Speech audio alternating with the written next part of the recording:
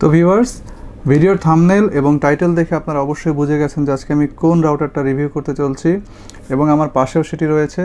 আপনারা দেখে বুঝে ফেলেছেন যে আমি আসলে এটা কোন রাউটারের কথা বলছি। এটা হচ্ছে আপনার টিপি লিঙ্কের আর্চার সি সিক্সটি এই রাউটারটা এটা এসি তেরোশো পঞ্চাশ ডুয়েল ব্যান্ডের একটি রাউটার আজকে আমি এটার ফুল রিভিউ করব ইন ডেপথ আলোচনা করব। আপনারা পুরো ভিডিও জুড়ে আমার সঙ্গে থাকুন এবং রিভিউ করার শেষে আমি আপনাদেরকে স্পিড টেস্টের মাধ্যমে দেখিয়ে দিব যে আসলে কোথায় গেলে, কতটুকু রেঞ্জে গেলে এটা কীরকম স্পিড শো করতেছে। আমি দুটো স্পিড টেস্ট করব।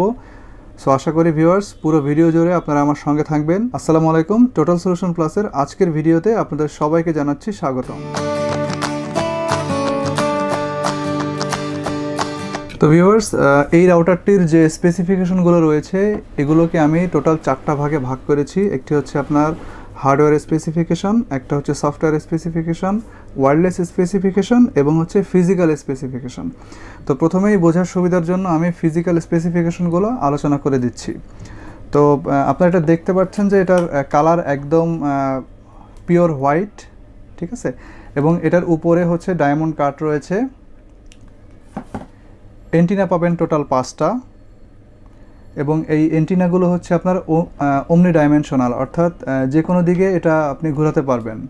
এটাই তো মানে স্বাভাবিক সেন্স বাট আসলে ওমনি ডাইমেনশনের ব্যাপারটা কিন্তু এটা না। ওমনি ডাইমেনশনাল ব্যাপারটি হচ্ছে আপনার এই যে এন্টিনাটা এই এন্টিনাটা আপনি যদি এরকম খাড়া করে রাখেন, অর্থাৎ এই এন্টিনাটাকে অ্যাক্সিস ধরে আপনার চতুর্দিকে এর যে আপনার যে ফ্রিকোয়েন্সিটা সেটা ছড়িয়ে যাবে। আপনারা ছবিতে দেখতে পাচ্ছেন।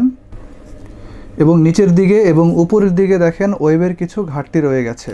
সো আপনারা এন্টিনাগুলোকে আসলে কীভাবে সেট করবেন সেটাও নিশ্চয়ই বুঝে গেছেন। তো অনেকে এরকম মনে করে যে এন্টিনাগুলো আমি যেদিকে কাজ করছি সেদিকে হয়তো এভাবে করে ফিরিয়ে রাখলে আমার কাজে সুবিধা হবে। আসলে ব্যাপারটা কিন্তু এরকম না।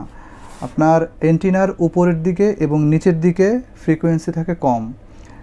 সাইডের দিকে ফ্রিকোয়েন্সি থাকে বেশি, অর্থাৎ এদিকে এদিকে, এই সাইডে এবং এই সাইডে এগুলোতে আপনার ফ্রিকোয়েন্সি থাকবে বেশি। এটাই হচ্ছে অমনি ডাইমেনশনাল অর্থাৎ পৃথিবীর মতো উত্তর দক্ষিণ দিক থেকে চেপে পরিধির দিকে আপনার যে ফ্রিকোয়েন্সিটা সেটা ওভাবে ছড়াবে। তো আপনি যদি এন্টিনা এভাবে করে রাখেন, তো দেখা যাচ্ছে যে আপনি যেদিকে আছেন, সেদিকেই ফ্রিকোয়েন্সিটা বরঞ্চ কম পাচ্ছে। আদার যে সাইডগুলো রয়েছে, সেদিকে দেখবেন যে ফ্রিকোয়েন্সিগুলো বেশি ছড়িয়ে যাচ্ছে। সো অমনি ডাইমেনশনাল এন্টিনার যে কনসেপ্ট সেটা কিন্তু আসলে এই যে আমি এন্টিনা এদিকে ওদিক চারিদিকে ঘোরাতে পারছি, এটা না। অমনি ডাইমেনশনাল কনসেপ্টটা হচ্ছে আপনার, এর ফ্রিকোয়েন্সিটা ওমনি ডাইমেনশনালি অর্থাৎ ওমনি ডিরেকশনালি ছড়াবে। সো আমি এভাবে বলব যে আপনি যদি আপনার ফ্ল্যাটের একদম শেষ মাথাতে থাকেন, রেঞ্জের শেষ মাথাতেও থাকেন, তাহলেও আপনি এন্টিনাটি এভাবে খাড়া অবস্থায় রাখবেন। কোনো কারণে আপনার এইভাবে ফিরিয়ে দেওয়ার কোনো প্রয়োজন নাই, বরঞ্চ ফিরিয়ে দিলেই আপনি নেটওয়ার্ক কম পাবেন। আপনি যদি এভাবে খাড়া রাখেন, সেক্ষেত্রে উপরের দিকে ফ্রিকোয়েন্সি কম যাচ্ছে, নিচের দিকে কম যাচ্ছে, আপনার কোনো সমস্যা নেই। আপনি তো সামনের দিকে আছেন ওই দিকে রাইট সো এদিকে কিন্তু ফ্রিকোয়েন্সিটা এভাবে ছড়াবে। সে এইভাবে ফ্রিকোয়েন্সিটা ছড়িয়ে দিচ্ছে চারিদিকে। এ কিন্তু উপরে নিচে ছড়াচ্ছে না। আবার আপনি যখন এইভাবে করে দিবেন, সে কিন্তু এদিকে ছড়াবে না। সে ছড়াবে তখন এইভাবে। সো এটাই হচ্ছে অমনি ডিরেকশনাল কনসেপ্ট সো আপনারা এই কনসেপ্টটা ভালো মতো বোঝেন, তারপরে আসলে এন্টিনাগুলো প্লেসমেন্ট করেন। ধরেন আপনি এটা এমন একটা জায়গায় সেট করতে যাচ্ছেন যে আপনি উপরে নিচে ফ্রিকোয়েন্সি চাচ্ছেন। সেক্ষেত্রে আপনি এটাকে এভাবে বসিয়ে তখন আপনি দুইটা এন্টিনা এভাবে কাত করে রাখেন। ফাইভ গিগাহার্সের একটা ফোর টু পয়েন্ট ফোর গিগাহার্সের একটা, এভাবে কাত করে রাখেন। তাহলে এন্টিনাটা মানে আপনার ফ্রিকোয়েন্সিটা উপরে এবং নিচের দিকে যাবে। আদারওয়াইজ এন্টিনা যদি আপনি এভাবে খাড়া করে রাখেন, তাহলে কিন্তু এটা শুধু পাশে ছড়াচ্ছে, উপরে নিচে কিন্তু যাচ্ছে না। উপরে নিচে যাওয়াইতে হলে আপনাকে এন্টিনাগুলো এভাবে শুয়ে রাখতে হবে। এভাবে শোয়ান অথবা এভাবে শোয়ান, এভাবে শুয়ে রাখতে হবে এন্টিনা। শুয়ে রাখলে কিন্তু উপরে এবং নিচে যাবে, তখন আবার সাইডে কম যাবে। সো আমি আশা করি আপনারা অমনি ডিরেকশনাল যে ব্যাপারটা রয়েছে এন্টিনার সেটা খুব ভালো মতো বুঝে গেছেন। আর এই রাউটারটিকে আপনার পাওয়ার দেওয়ার জন্য ব্যবহার করা হয়েছে আপনার বারো ভোল্ট ওয়ান এম্পিয়ারের এই চার্জারটি অর্থাৎ এই অ্যাডাপ্টারটি তো এই ছিল মূলত এর ফিজিক্যাল এক্সপেক্স অর্থাৎ রাউটারটি আসলে দেখতে শুনতে কীরকম। তো এবার চলে যাই আমরা পরবর্তী স্পেসিফিকেশনে তো ভিউয়ার্স এবার বলে দিই এর কিছু হার্ডওয়্যার স্পেসিফিকেশন তো হার্ডওয়্যার স্পেসিফিকেশনের মধ্যে প্রথমে যেটা আছে সেটা হচ্ছে আপনার পোর্টস পোর্টসগুলো একটু দেখেন। এখানে নীল রঙের যেটা দেখতে পাচ্ছেন সেটা হচ্ছে একটা ওয়ান পোর্ট আর বাকি চারটা হচ্ছে আপনার ল্যান্ড পোর্ট তো ল্যান্ড পোর্টগুলো এবং ওয়ান পোর্টটা সবই কিন্তু আপনার হান্ড্রেড এমবিপিএস অর্থাৎ এটার ম্যাক্সিমাম স্পিড হচ্ছে হান্ড্রেড এমবিপিএস সো এটি একটি হান্ড্রেড এমবিপিএস রাউটার এটা কিন্তু আবার গিগাবিট রাউটার না, আপনারা অনেকে গোলায় ফেলেন সি সিক্স এবং সি সিক্সটির মধ্যে।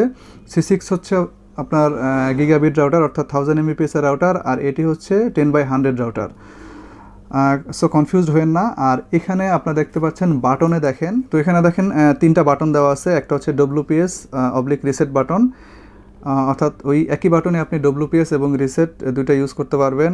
একটা হচ্ছে ওয়্যারলেস অন অফ বাটন অর্থাৎ আপনি ওয়্যারলেস চাইলে বন্ধ করে রাখতে পারবেন ওয়াইফাইটা চাইলে বন্ধ করে রাখতে পারবেন, আর একটা হচ্ছে পাওয়ার অন অফ বাটন আর ভিউয়ার্স এন্টিনাগুলোর কথা তো আমি আগেই বলে দিয়েছি, এখানে পাঁচটা এন্টিনা আছে, এর মধ্যে তিনটা হচ্ছে আপনার টু পয়েন্ট ফোর গিগা হার্সের আর দুটো হচ্ছে আপনার ফাইভ গিগা হার্সের তো আমি বলে দিচ্ছি কোন কোন তিনটা হচ্ছে টু পয়েন্ট ফোর গিগা হার্সের একটা বাদ দিয়ে একটা হচ্ছে টু পয়েন্ট ফোর গিগা হার্সের অর্থাৎ এটা টু পয়েন্ট ফোর গিগা হার্সের এইটা ফাইভ গিগা এইটা টু পয়েন্ট ফোর গিগা হার্সের এটা ফাইভ গিগাহার্সের আবার এইটা হচ্ছে আপনার টু পয়েন্ট ফোর গিগাহার্সের সো পাঁচটা এন্টিনার মধ্যে আপনি দুটো পাচ্ছেন ফাইভ গিগাহার্সের তিনটা পাচ্ছেন টু পয়েন্ট ফোর গিগাহার্সের তো ভিউয়ার্স এবার আসুন বলে দিই এটার ওয়্যারলেস ফিচার এটার ওয়্যারলেস ফিচার হচ্ছে আপনার এটা হচ্ছে একটি ডুয়েল ব্যান্ডের রাউটার অর্থাৎ এখান থেকে টু পয়েন্ট ফোর গিগাহার্স এবং ফাইভ গিগাহার্সের দুটো ফ্রিকোয়েন্সি বের হবে।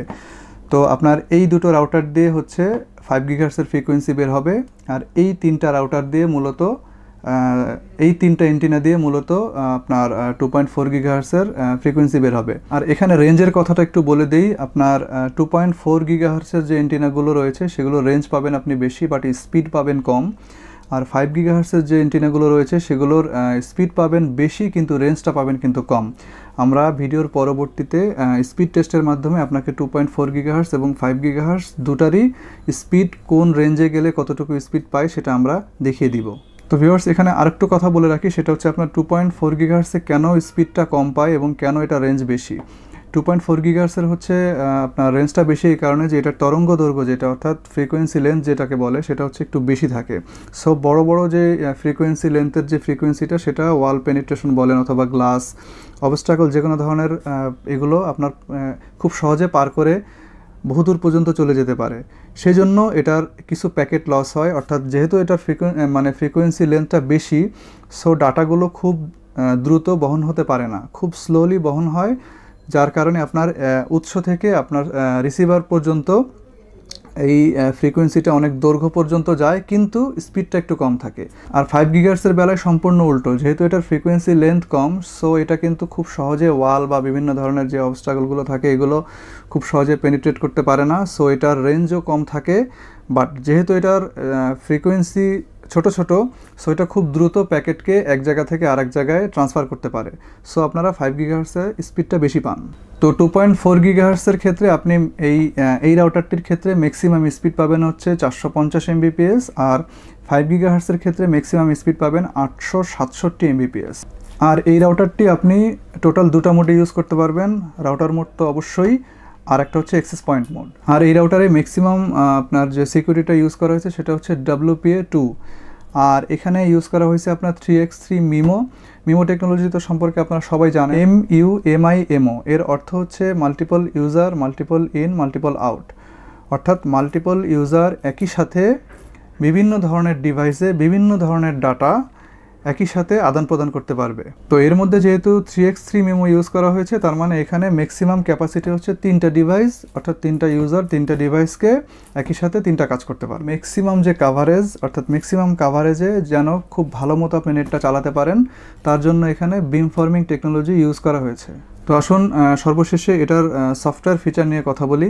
সেটা হচ্ছে প্রথমে যেটা আসবে সেটা হচ্ছে অ্যাক্সেস কন্ট্রোল আপনি প্রোফাইল ক্রিয়েশনের মাধ্যমে আপনি যে কোনো আপনার যে বাসায় যারা ইউজার আছে তাদের প্রত্যেককে আলাদা আলাদা করে প্রোফাইল ক্রিয়েট করে দিতে পারবেন এবং প্রোফাইল ক্রিয়েশনের মাধ্যমে আপনি এটা নিশ্চিত করতে পারবেন যে কে কখন কোথায় ঢুকবে, আপনি ইউআরএল ফিল্টার করে দিতে পারবেন যে এই এই ইউজার এই এই ইউআরএলের বেশি ইউজ করতে পারবে না। অর্থাৎ ইউআরএলটা আপনি ওখানে কির মাধ্যমে, অর্থাৎ কিওয়ার্ডের মাধ্যমে ইউআরএলগুলো সিলেক্ট করে, হয়তো আপনি ওখানে লিখে দিয়েছেন যে ফেসবুক তো ফেসবুক যখন আপনি কিওয়ার্ডটা দিয়ে দিবেন, সে কিন্তু ফেসবুক আর চালাতে পারবে না। অর্থাৎ W W W dot Facebook dot com এই ইউআরএলটা টোটালি অফ হয়ে যাবে। আপনি ওখানে লিখে দিলেন ইউটিউব তাহলে W W W dot YouTube dot com এই ইউআরএলটা টোটালি ব্লক হয়ে যাবে। এরপরে আপনি টাইম শিডিউল করে দিতে পারবেন আওয়ার শিডিউল করে দিতে পারবেন ডে সিলেক্ট করে দিতে পারবেন। তো আসেন, এরপরে কিউ ও এস নিয়ে কিছু বলি। এর মধ্যে আছে একটা স্ট্রং কিউ ও এস অর্থাৎ যার ব্যান্ডউইথ বেশি লাগবে, সে নিজের জন্য পর্যাপ্ত পরিমাণ ব্যান্ডউইথটা রেখে বাদ বাকিদের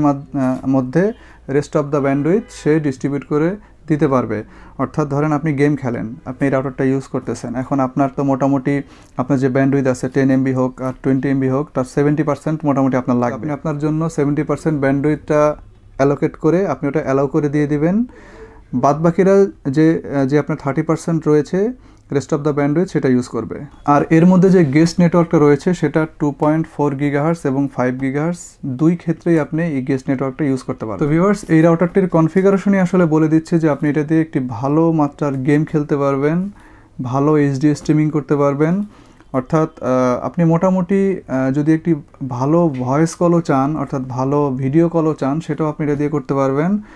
এক্ষেত্রে আপনি কোনো ডিলের সম্মুখীন হবেন না। তো ভিউয়ার্স আসেন এবার এটার স্পিড টেস্টটা দেখে আসি। আমরা ফাইভ গিগাহার্সের জন্য স্পিড টেস্ট করেছিলাম।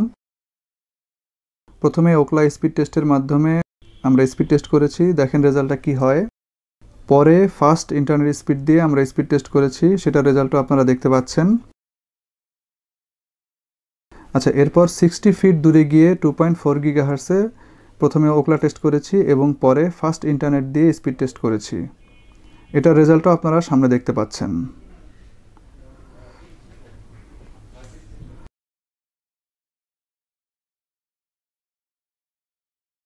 তো ভিউয়ার্স স্পিড টেস্টের মাধ্যমে আমরা যেটা দেখেছি সেটা হচ্ছে এই রাউটারটি অন্তত পক্ষে আপনার দুই হাজার স্কোয়ার ফিট পর্যন্ত ইফেক্টিভলি সে ডাটা সাপোর্ট দিতে পারে, অর্থাৎ খুব ভালো মতো আমরা নেট চালাতে পেরেছিলাম।